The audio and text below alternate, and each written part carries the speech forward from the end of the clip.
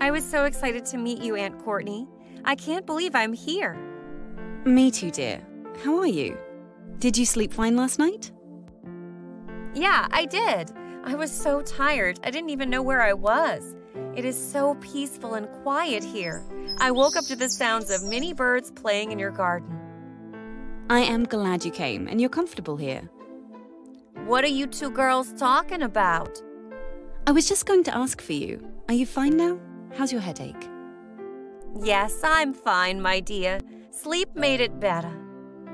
Good sleep is one of the most important keys to better health. Most people do not realize this, but deep sleep takes out the trash for the brain and body. It has an ancient restorative power to clear waste from the brain. Even more surprising is that severe chronic sleep deprivation may actually result in death. Really? I never knew that. I've done a lot of research lately and found that deep sleep makes the process of our aging more manageable. Hmm, Elsa, tell me one thing. Are you interested in knowing the things that will help you in your better health and stamina? That's why I'm here. I want to learn everything. I also want to become a scientist and graduate to pursue a career in finding the cause of aging, as well as all diseases. Then I will help you. The idea is not only to reverse or slow down our age, but to be healthy and fit too.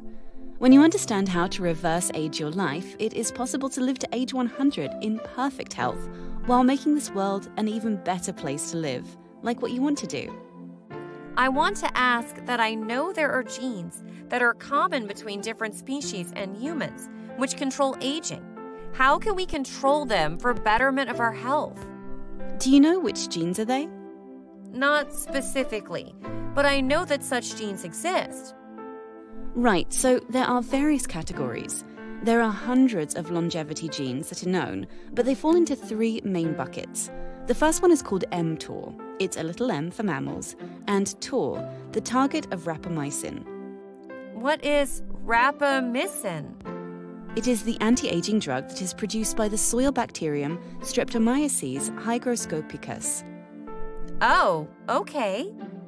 So, mTOR is a longevity gene that makes a protein that senses amino acids.